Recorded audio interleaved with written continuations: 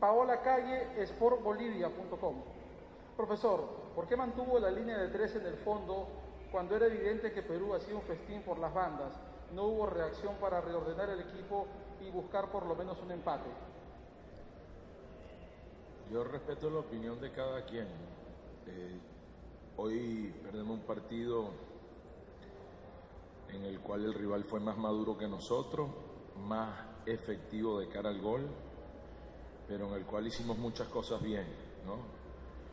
Y tuvimos el 50% de la pelota, difícil hacer eso de visitante, completamos más pases que Perú, 415 contra 413, o sea, fue muy parejo en ese aspecto.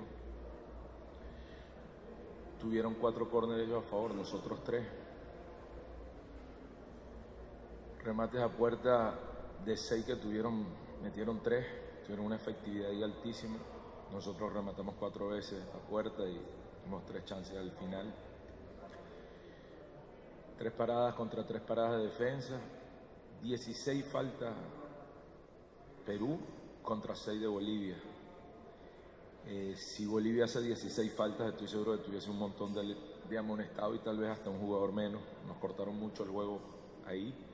Tal vez hemos podido eh, tener incluso más la pelota si no se cortaba tanto el juego. No hicieron daño en esas transiciones, no hicieron daño en una pelota cruzada.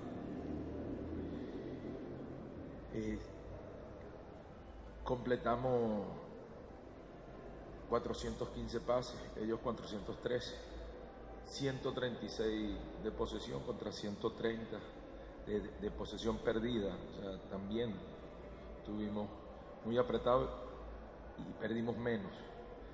Contra el 81% contra el 80% de precisión de digamos, equipos que vamos nosotros un poquito por arriba, ¿no?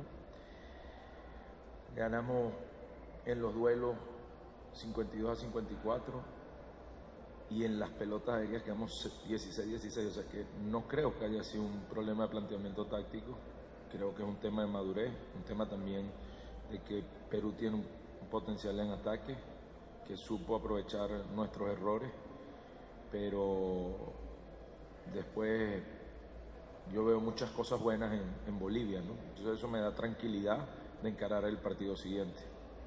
Eric Maldonado, Bolivia Deportiva. ¿A qué jugó Bolivia? ¿Cuál fue la idea que quiso plantear en el partido? Los números lo reflejan, jugó, jugó, tuvo la posesión, quiso eh, y no tuvo la fortuna tal vez de otros encuentros y también tuvo una inmadurez. Perú es un equipo que sabe aprovechar las transiciones, que tiene jugadores para ellos, que tiene más, más oficio que nuestro equipo hoy día, pero eso se logra es con trabajo. Eh, Bolivia jugó, quiso en el segundo tiempo, apretó más su línea, en el primero cometió algunos errores de, quedar largo y, y eso no, nos dificultó un poco. Pero en líneas generales, Bolivia, más allá del resultado, jugó un buen partido. Luis Moreno, de zona mixta. Usted mencionó que la eliminatoria es cambiante. ¿Este golpe es muy duro para Bolivia o se puede rescatar algo de la derrota? No, si se rescata, para mí rescatamos muchas cosas y nosotros estamos más atentos y, y podemos mantener este juego, en La Paz vamos a, a sacar el resultado que estamos obligados a sacar. Alejandro Quispe, Cadena Pratel. Profesor, ¿el resultado en qué grado complica las aspiraciones de Bolivia de una posible clasificación?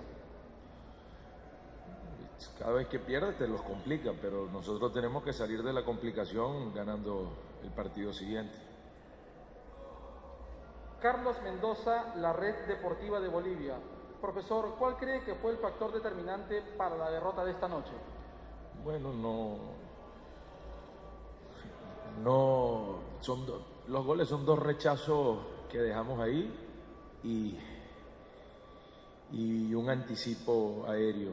Nos faltó agresividad en ese sector, nos faltó sacar la pelota en los momentos difíciles, arrancamos bien el partido y, y no en los pequeños detalles nos ganó Perú con su madurez y, y, y la jerarquía de sus jugadores. Pero vuelvo y repito, el colectivo de Bolivia tiene muchas cosas interesantes que no se perdieron.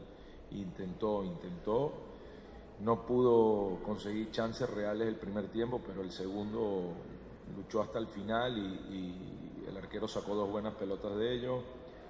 La que le saca Saavedra en el ángulo, la que le saca Ábrego, el cabezazo de Quinteros que, que había quedado mal parado el arquero.